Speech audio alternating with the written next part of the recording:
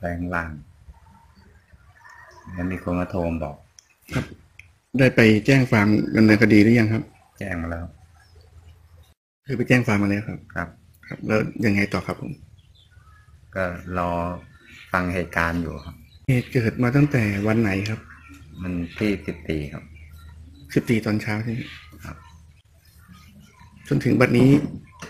ยังไม่มีข้อมูลเพิ่มเติมจากตำรวจใช่ไหมยังครับ ได้มีหน่วยงานใดทราบแล้วเข้ามาเยี่ยมเยียนน้องบ้างไหมครับ ทางพ่อเด็กอยากจะให้ช่วยเหลืออย่างไรครับอยากให้จับคนร้ายได้พ่อรู้สึกยังไงครับ จิตใจของพ่อ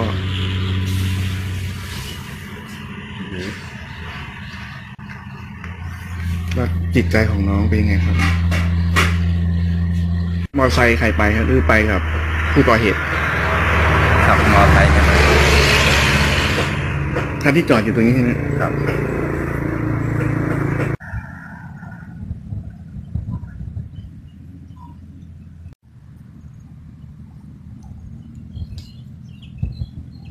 ของ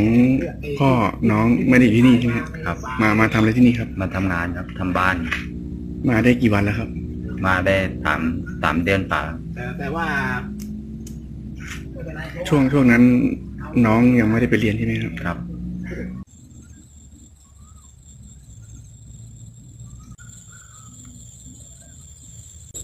เขาลากอ่าตัวเด็กอะเข้ามา แล้วก็แล้วก็ไปลาก ไปลากอ่ามอไซค์จากถนนน่ะมาซุกไว้ตรงนี้ ประมาณนี้เพราะมันมีร่องรอยอยู่ว่านะเป็นไงครับ ที่เกิดเหตุเป็นไงครับนี่ครับเป็นป่า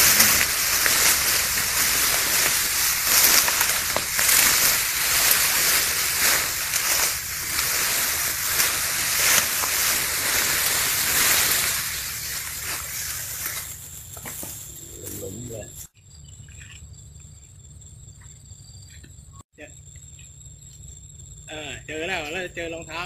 น้องพลอยด้วย